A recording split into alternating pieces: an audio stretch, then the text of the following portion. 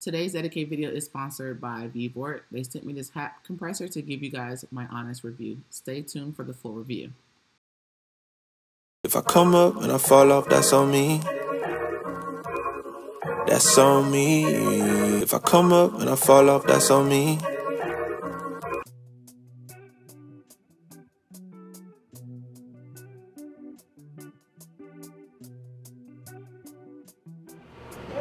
Guys, welcome back to my channel. So today we will be unboxing the VEVOR hat presser. So this is something new. So this hat presser is a six by 3.7 inches curve.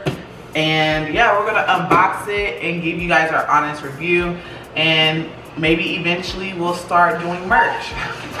well, Crystal. He's gonna actually help me out because I'm not real savvy with stuff like this. So he's gonna help me. And of course, Legendary is gonna be over here in the video because that's how is. Oh yeah? Yeah.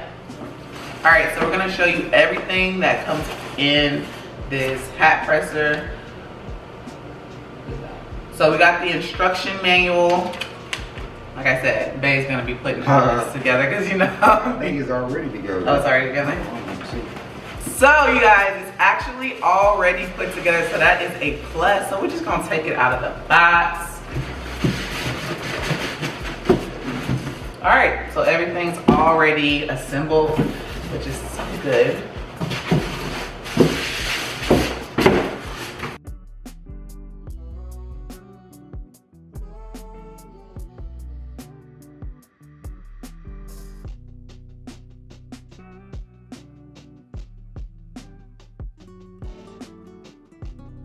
So this is a cap heat press machine. You can use any kind of cap. You can use any kind of letterings or any kind of designs you want on your cap. I decided to do a test run. I went and got some fabric letters from the store just to do a test run to see how good this heat press machine. And honestly, guys, I highly, highly recommend it.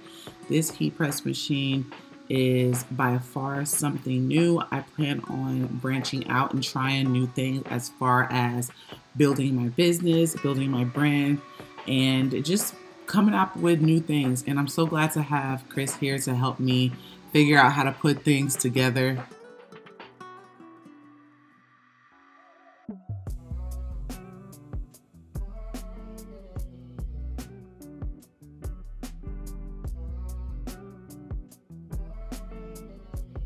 So in order to get a nice tight fit so that your hat can be set in stone in its place, you want to attach the back of the hat to the hat stretcher. And then on the side, there is a handle. This handle allows you to stretch your hat so that it can get a nice even press across the hat line. Also, I forgot to mention that you can change your temperature from Celsius to Fahrenheit on a degree indicator. It shows a whole bunch of different things. You get the time display, you get the temperature settings, time indicator, setup indicator. As you guys know, Chris is really into hats, so this is something that we are planning on adding to our brand. We're gonna add hats, of course.